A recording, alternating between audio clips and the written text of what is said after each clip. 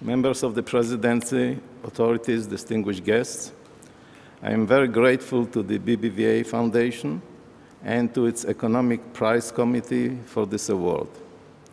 And I am delighted and honored to join the distinguished group of past recipients of this prize. I have spent the last four decades teaching economics and doing research and little else. During this prolonged period, I have been particularly lucky in two respects. First, I found wonderful collaborators for many research projects, including Asaf Razin from Tel Aviv University, Paul Krugman, who was at MIT at the time, Gene Grossman from Princeton, and my younger colleagues, Marc Melitz and Pol Antràs, who is Spanish and currently at Harvard University. Second, my professional life has overlapped with an extraordinary period in economic research, during which entire fields have been fundamentally transformed. Although I did some work in a number of these fields, my main focus has been on foreign trade, political economy, and economic growth.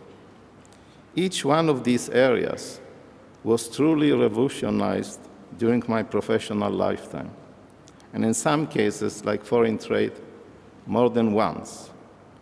Just to witness these developments has been an intellectual feast.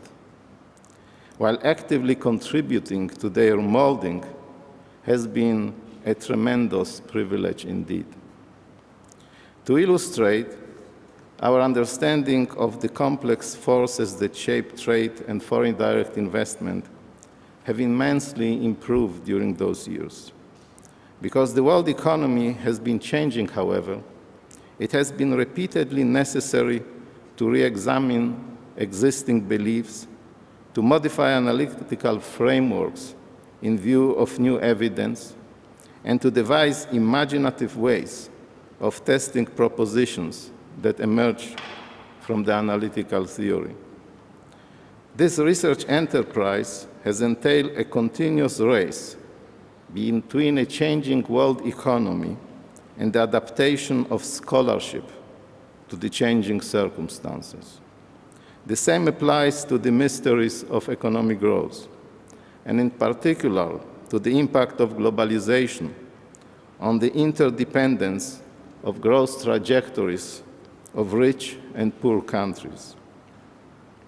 We live in a time in which economic growth has lifted hundreds of millions of people out of extreme poverty. Yet inequality has widened in many countries. To understand these outcomes and the role played by trade integration in their shaping is a major challenge to the economic profession.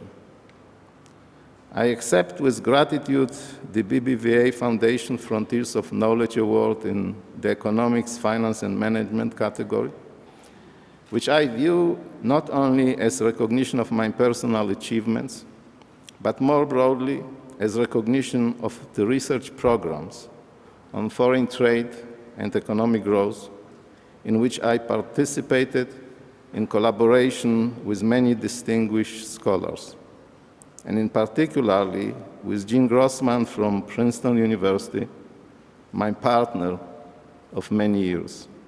Thank you very much.